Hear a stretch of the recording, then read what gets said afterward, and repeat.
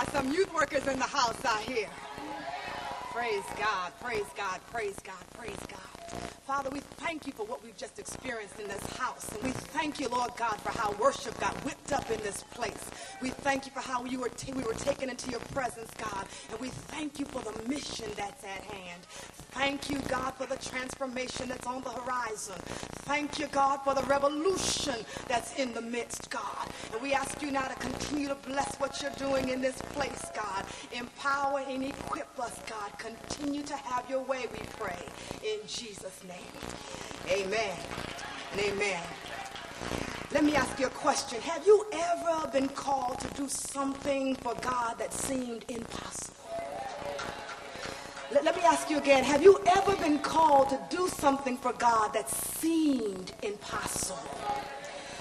You got fired up doing a hot worship service like the one we just got out of. I, I, I thought, now, they should not do that prior to preaching because I thought I'm really going to have to come back to earth to participate in this with you because I was really for about a good 15 minutes transcendent. Uh, so my brothers, Dios te bendiga. Gracias. Hallelujah. But you got worked up, fired up in a revival. You came to a, a, conference like this and you got impassioned and something in you said, I'll do it. I want to give my life. I want to commit my life. You, you, you had a meaningful time with God. I don't know where, a quiet time perhaps. And you just felt the overwhelming presence of God and you felt called in a way that you've never felt called before. And in that moment of excitement and exuberance and in that season of, of high energy, you said, yes, Lord. I want to do it. I want to go. Send me. That's exactly what happened to Isaiah in chapter 6. Why don't you turn to that book with me? Isaiah chapter 6. I'm going to read. I've been living in Isaiah for the last six or seven months now, and I'm still there. And I want to pick up the latter part of that chapter, Isaiah chapter 6. And for a scripture this morning, we're going to read the 8th through the 13th verse. Here's what God's word says. You ready? Ready. And I heard the voice of the Lord saying, Whom shall I send, and who will go for us? Then I said, Here am I send me. And he said, Go and say to this people, Hear and hear, but do not understand. See and see, but do not perceive. Make the heart of this people fat and their ears heavy, and shut their eyes, lest they see with their eyes and hear with their ears and understand with their hearts and turned and be and turn and be healed. Then I said, How long, O Lord? And he said, Until cities lie waste, without inhabitant, and houses without men, and the land is utterly desolate, and the Lord removes men far away, and the forsaken places are many in the midst of the land. And though a tenth remain in it, it will be burned again like the terebinth or an oak whose stump remains standing when it is felled. The holy seed is its stump. Part of me wants to say, What? What?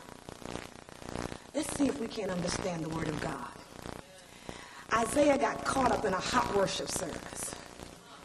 Glory to the Lord filled the temple house got all filled with smoke, stuff started shaking all over the place. And he was having church, high church in the highest. He lifted his hands and worshiped God. He saw God exalted high and lifted up. He saw angels singing holy. He saw God in an exalted state. He experienced the very glory of God. Worship was in it, it, it just absolutely overwhelming. Worship was ecstatic. Worship was like nothing he had ever experienced before. Worship was life changing. Worship caused himself to see himself. And for the first time, perhaps in Isaiah's life, he came face to face with all of him. worship was life changing. And I, I pray God let me settle into this thing and share from my spirit with you because I want to tell you that that's what worship is supposed to be. These brothers didn't take us into the throne room of God for nothing. They didn't work this hard and give that much and pour out to that extent for us to have had a good time. Something transcendent is supposed to happen when somebody goes that deep into the holy things of God. Oh, I ain't gonna get no help, but that's all right. when somebody goes deep into the things of God and pulls out treasures from the spirit realm and revelation starts flying and, and walls start coming down and, and stuff gets broken up and you start to see yourself differently. That's what worship is supposed to do. Oh, Good God Almighty. That's what worship is supposed to do. Worship is supposed to change your life. True worship is supposed to transform you and I. Worship is to be changed. We've not worshiped if we've not changed. Ah, so, so Isaiah in the house with God exalted and lifted up and worship magnify in the presence of God. Nobody had an altar call. Nobody said, yo, man, you need to clean up your act. Isaiah said all by himself. I feel a preach coming up. That's your fault.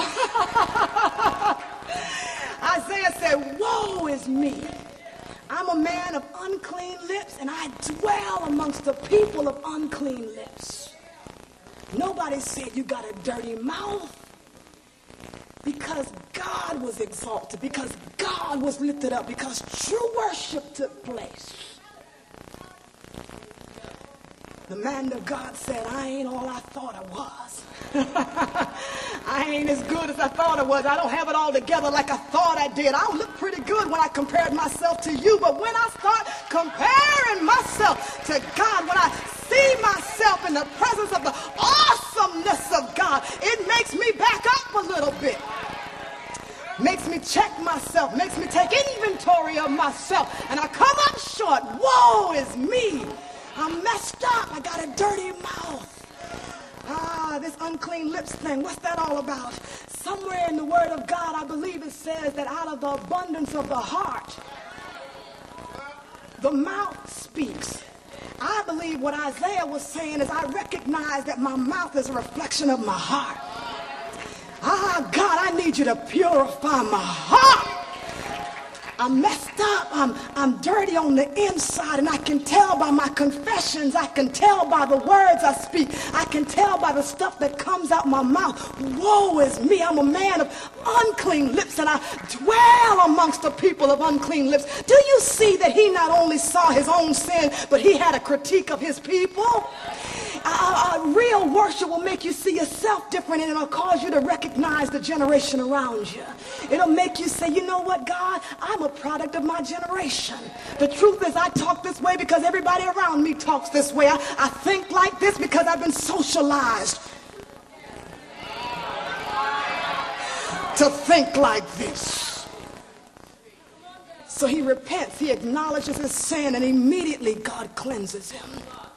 Immediately God forgives him. Immediately God comes with fire. Parenthetically speaking, let me say to you that the fire ain't always bad. Last night we were reminded that every now and then a youth worker will find him or herself in the yeah, and sometimes it ain't just the devil, and you just can't rebuke it. Every now and then it's a God ordained fire Every now and then God will whip up a little purifying fire. Got way of getting his people all fixed up and cleaned up and oh so so so God sent the fire from the altar. I know when fire comes into my life, I want to rebuke it. The devil is a liar. you know that I rebuke it, but every now and then some of the suffering that comes into our lives, some of the rough places, some of the, the hard stuff, some of it's ordained by God. We've been lied to, people, to believe that everything that hurts ain't God. We've been lied to to come to the conclusion that if we ain't happy all the time and if we got to go through something that somehow other God ain't in it. The old folk used to know that it was a pressing way. Somebody ought to get in a press. I never really understood Paul, but I'm starting to understand this thing about rejoicing in my suffering because suffering worketh patience and patience worketh endurance. Hey, and endurance produces character and character produces hope and that hope will not disappoint us. Oh, that was just a parenthetical, parenthetical thing. I'm, I'm back, I'm back. But I, I just felt like somebody needs to know that what you're going through ain't all bad. What you're going through, if you just switch your perspective for a minute and start rejoicing in it, shout a little bit in the fire, get your dance on in the fire, and let God purify your heart. It's working on your character, my sister. I'm talking to somebody in here. I don't know who you are, but he's working on you. He's working on you. Sometimes he sends fire from the altar. Ah. And now that he's been purified, now that God sent the fire to Isaiah's life, now that he's acknowledged where he sees himself, he's ready for his assignment. And so now the question comes, whom shall I send and who will go for us? And Isaiah said, well, look, I ain't much, but I mean, look, I just confessed that I wasn't everything, and my mouth is dirty, and I know my heart is dirty. And, and so, God, look, I, I don't know if you can use me, but here am I. Send me. And so God said, Your mission, should you choose to accept it. Ah, is to go say to this people, keep hearing but don't understand. Keep seeing but never develop perception. Isaiah's assignment, his mission was to make the people's heart fat. His job was to feed them the word of God, to give them such an intense diet of the word, the purpose, the will of God in the earth knowing that they would never do it. I don't like preaching to folk, Bart, that I know ain't going to do it. I don't like pouring out my soul and pouring out my guts. I don't like singing to that extent and going into that depth of worship when I don't think folks are going to go nowhere. I'm not preaching for entertainment. I'm preaching for conviction. I'm preaching for transformation. I'm looking I'm looking for a revolution up in here. So it bothers me when I pour my soul out, when I labor over the word of God, when I lay my face on the floor before God and the folk won't do right. What kind of an assignment is this, Isaiah? That you're going to go preach to folk that to be hearers of the word and not doers also hearers only, refuse to be doers of the word. What kind of assignment is this to go preach to folk and prophesy to folk that you know aren't going to live it?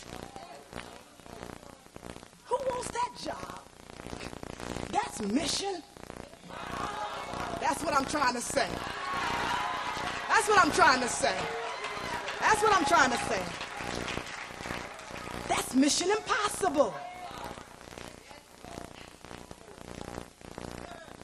But I want you to know that I believe that we in this room, in this generation, we are also called to what seems like an impossible mission in this generation. Let me tell you some facts that are just plain true. By the year 2050, some think in the next 25 years, there will be more non-white than white Americans. And most of those people will be Latino and Asian, not black. Let me say it again because I'm not sure. Let me let it, we're going to let it sink in. In the next 25 years, there are going to be more non-white than white Americans living in this country. And most of those people are going to be Latino and Asian not black. Therefore, aprendiendo habla español. Yeah, I am. I'm working on it. I'm working on it. the world is changing. Demographic realities are encroaching upon us, and life is not going to be the way we grew up. It's not going to look the way it looked. Church is going to be different. The methodologies we use in youth ministry is going to change. Our curriculum is going to be different. The pictures we use are going to be different. The language we employ is going to be different. Things are going to be different. But not many people are getting ready for it. Oh no, oh no, oh no, we're not. We're creatures of habit. We like the things we like. We love church the way we know church. That's why if somebody like this came to a black church, we couldn't get with it too good because we couldn't we couldn't get a shout on with it. Even though, honey, I tell you, we are used to what we're used to, and certain things wig us out when it goes too far outside of the box for us. Am I right? for the first time, the ramifications of these demographic shifts is that for the first time, white people are going to be a minority in the United States. Do you know that that is absolutely terrifying people? Folks are scared all over this country, people are scared. The last election we just came through is evidence of the polarization and the fear that is rampant and endemic in our society. People are afraid of the changes that are coming. Folks are starting to pull their stuff in. We're getting a little bit more selfish. We're not wanting to support ministries and, and we're looking for ways to hide our taxes and save our money. We're not as generous of a people. I know I'm right. Because when you get scared that opportunity is going to be taken away from you and somebody's going to get my thing, then we start pop passing proposition this and proposition that and oh, I know I'm right. And we start, uh, we start trying to make sure that we limit access and keep them from coming across the border and send them back on them same ships they came on. And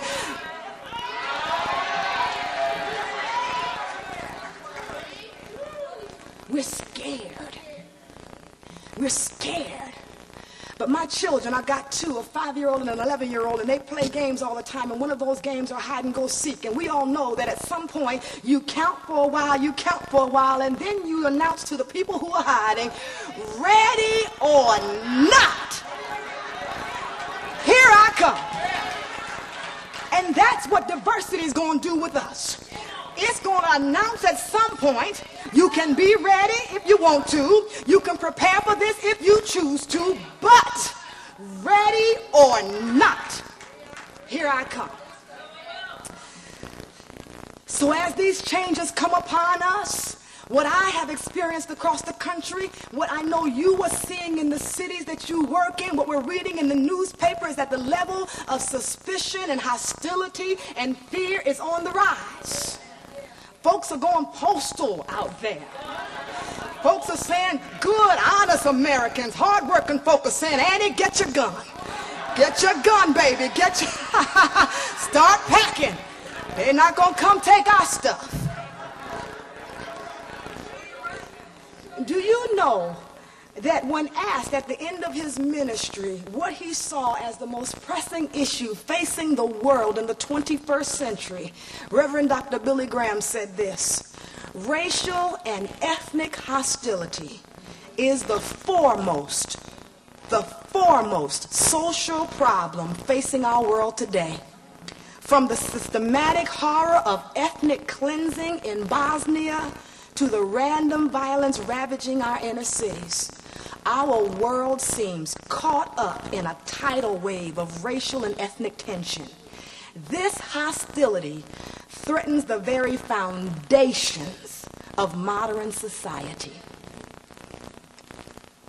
You and your kids the kids you work with, the kids you're leading to Christ, you and your kids are going to be faced with more racial and ethnic diversity than any generation that has ever preceded you. Your mission, should you choose to accept it, is to proclaim the kingdom of God to a world that doesn't think it's possible.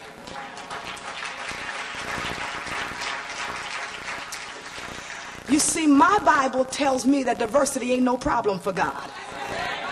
Now, I don't know if you're in the same book with me, but way back in the book of Revelation, and somebody said that what people do when they want to tell you where they're going, if you can go to the back of the book, you know, if you want to see how the story's going to end, if you just are wondering if the good guys are going to win and what the conclusion of the matter's going to be, then you can cheat and just skip on up through Acts and make your way quick through Galatians and go on past Hebrews, 1st and 2nd Timothy, and go on into past 1st, 2nd, and 3rd John. Get on through Jude and find your way to Revelations. And if you turn to the back of the book in chapter 7, verse 9, he said, I ain't confused by all of this. I'm doing this. I'm up to this. I'm bringing all my family together. I'm bringing the Latino people. I'm bringing the Asian people. I'm bringing the Native American people. I'm bringing the black people. I'm bringing the European people. I'm all up into this thing. I'm bringing folk from Africa. I'm looking in Brazil for somebody.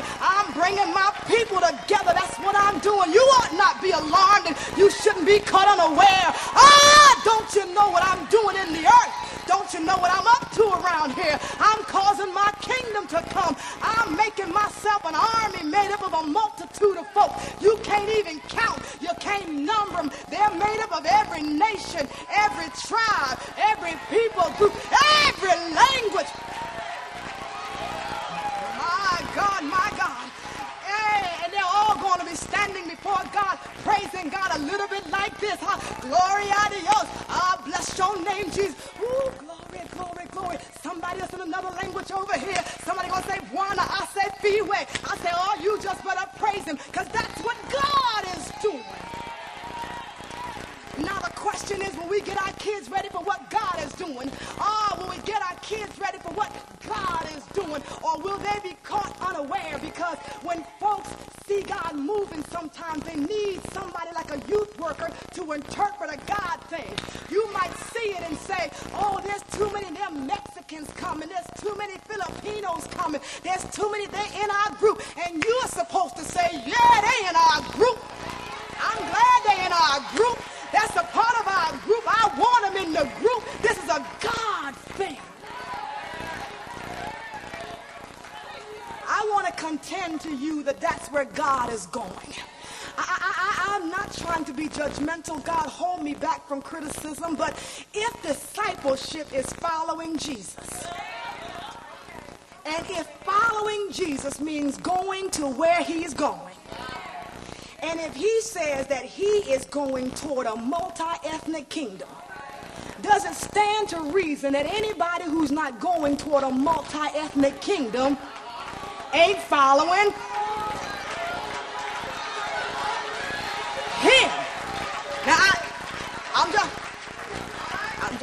trying to work with it.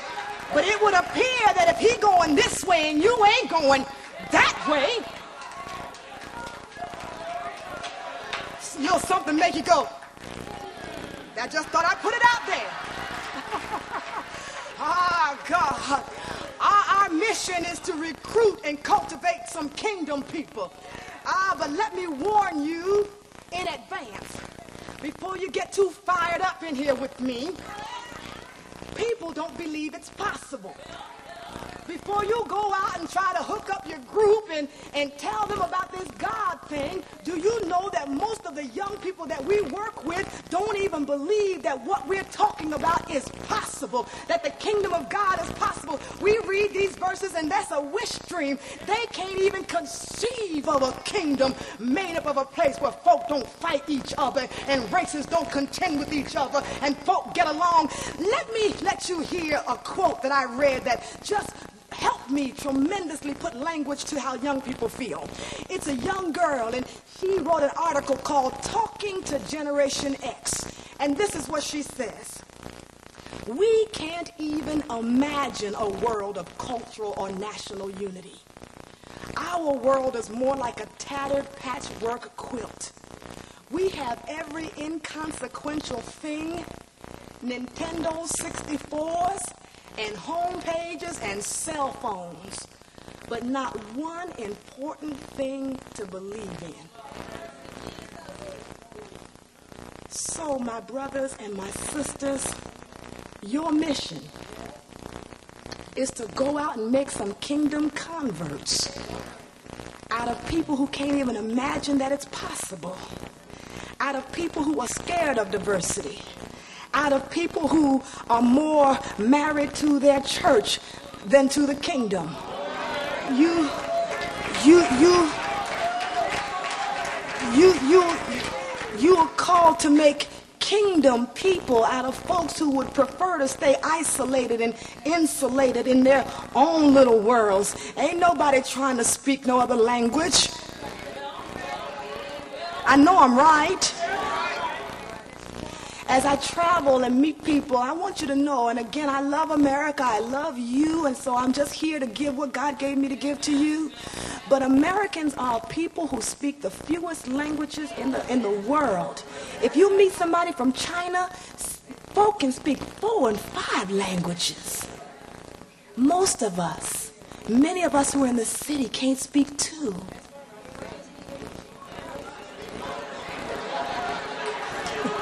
I'm gonna leave that alone. I heard it, but I ain't gonna, I ain't gonna mess with it. she said they can't speak English, but, but do you hear what I'm saying? And it suggests that we have gotten so used to the world that revolves around Americans, around us. So when we go to other countries, we say stuff like, where McDonald's? I don't like this food. Well, you know, we look for stuff like us. But if the statistics I read to you are true, the world is changing, and no longer are we the center of folks' existence. Amen? And just like folks have had to learn about us, we may have to learn about them. Amen. Hallelujah. We may need to take us a little trip out of the country every now and then. And we may want to teach our kids how to learn other languages. And do you know, maybe that's part of what God is doing. That it's time for us to learn from each other. As opposed to saying, I don't understand the words. Brother, can you translate that for me? Because I want to roll with it. I want to get with it. Help me to know what that means. Teach me to sing in another language. Help me get ready for the kingdom of God.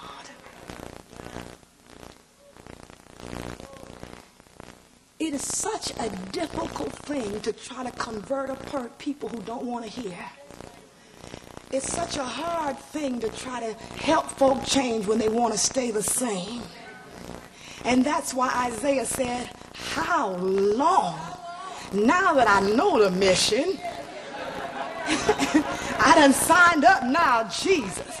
I done said, Here am I, send me. So now the only thing I can say is, How long? How long do you want me to do this? How long you want me to keep beating my head up against a wall trying to preach something folk don't want to hear? How long you want me to try to convert folk to a kingdom when they're trying to stay stuck to the world? How long? How long?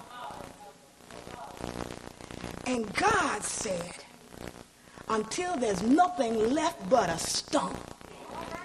Ah. He said the holy seed is its stump. I want you to preach and preach. I want you to prophesy, tell the truth, stand up for what I'm saying, open up your mouth and declare my purposes in the earth until it divides the real folk from the false folk. That's what I want you to do. I want you to keep on talking to the kingdom crowd gets on one side and the non-kingdom crowd on another. That's what I want you to do. I want you to identify the perpetrators in the Keep on talking about the kingdom until the folk who really want what I want, the people who really are following me, identify themselves. Keep on talking until there's nothing left but a stump until I just have a remnant to work with. Oh, y'all don't hear me? Oh, y'all don't hear me? Don't wait for a crowd. Just keep on working until you get down to us. A stump. Yeah, yeah, yeah. You don't need a whole lot of folk to want to do God thing. God's never used a whole lot of folk. God usually works with a remnant, a, a stump. You know what I'm saying? Just, just a, God said, no, you keep on doing things until I purify the crowd and just get down to a stump. Yeah, yeah, yeah, yeah, yeah. Just tell it until I know who's really on my side. Get down to a, a stump. Yeah, yeah, yeah, yeah. Prophesy and don't let up until folk get sick of coming to the conference. And then you'll be down to a, that's what I want to work with. I'm ready to work with a, Oh, yeah, yeah, yeah. He said, now from the stump that's left over after the tree is cut down, a new nation will arise. Oh. a, a new nation's going to come up from a stump. See, God's not going to level it down. He said, let me just have a stump left and I'm going to cause something new to come out of a stump. I'm going to create a whole new people out of a when you thought it was all over, all dead, all the kids done left the fellowship, that's all right. I'm going to come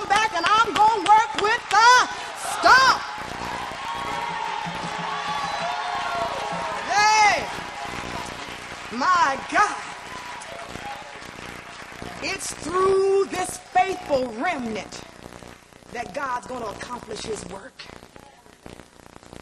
It's through those who were left who stood through the fire. The folks who decided they wanted to be a part of the kingdom of God. The folk who weren't doing it because it was popular.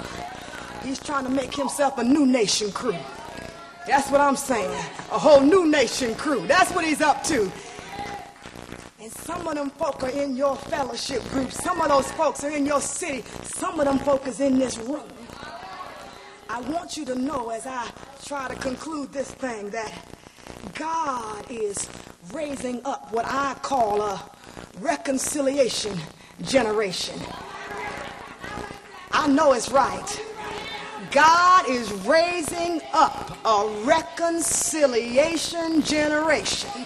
And he has put it on my heart to travel coast to coast and call and commission the reconciliation generation.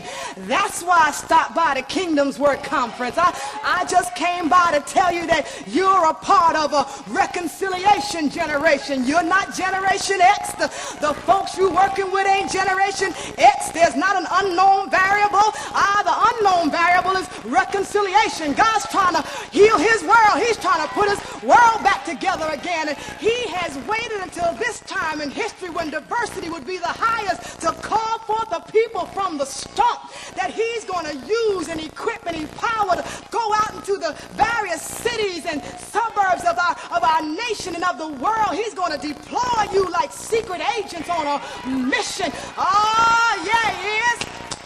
God is about cause the kingdom to come, and He's just looking for some kingdom agents who will be a part of His reconciliation generation. He wants you to call kids to the reconciliation generation. He wants you to be a part of the reconciliation generation. He wants you to preach the kingdom, model the kingdom, uh, talk about the kingdom, call people to the kingdom. He is looking to create a new kingdom community called the people of God who are made up of every nationality nationality, every language, every people, every ethnicity. That is the will and the purpose of God. And he's looking for some folk through whom he can work. So he's still got a question on his heart. He had a question in Isaiah, and he's still got a question tonight today. He said, Who, who, who, who shall we send and who will go for us? And Isaiah said, Well, it seems like a mission that's impossible, but my God, I do recall now I'm working with my Holy Ghost imagination. I, I do recall that in Mission Impossible there is all kinds of adventure and all kinds of suspense. It's intrigue and, and sometimes there's danger. Oh, but the Mission Impossible guy gets a special watch and ah, he gets little gadgets and he gets all kinds of stuff from Q to help him make it right. He, he gets to make it because he got all this stuff that helps him do what seems impossible. God said, I'm going to hook you up. I got some special anointing for you. I ain't going to call you to something impossible to do. I got a power to equip you to accomplish the mission. Or it might seem impossible to you, but with God, nothing is.